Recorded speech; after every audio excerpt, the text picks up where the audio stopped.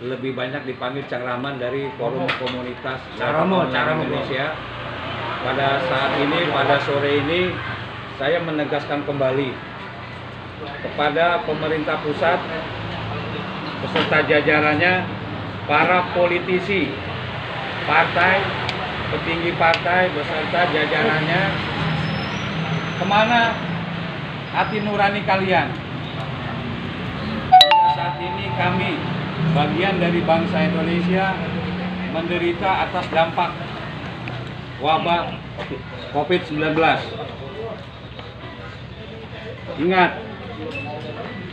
lapar bisa membuat orang menjadi beringas. Lapar bisa mematikan pikiran, membutakan mata hati. Kalian tidak punya mata hati, tidak punya empati, tidak punya perhatian.